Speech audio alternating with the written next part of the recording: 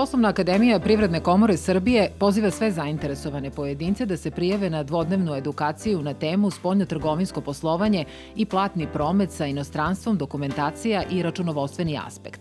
Takozvana spoljno-trgovinska akademija ima tri modula, a prvo predavanje počinje 18. maja.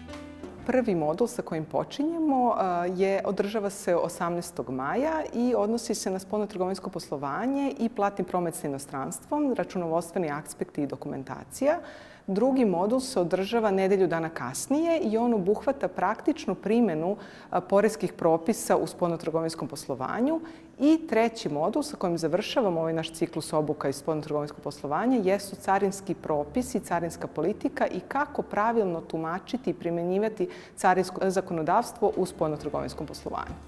Na sve obuke koje organizuje Centar za edukaciju, zainteresovani učesnici mogu se prijaviti i dan pred njihov početak, a svi neophodni detalji o načinu prijeve i učešća mogu se pronaći na internet stranici Privredne komore Srbije.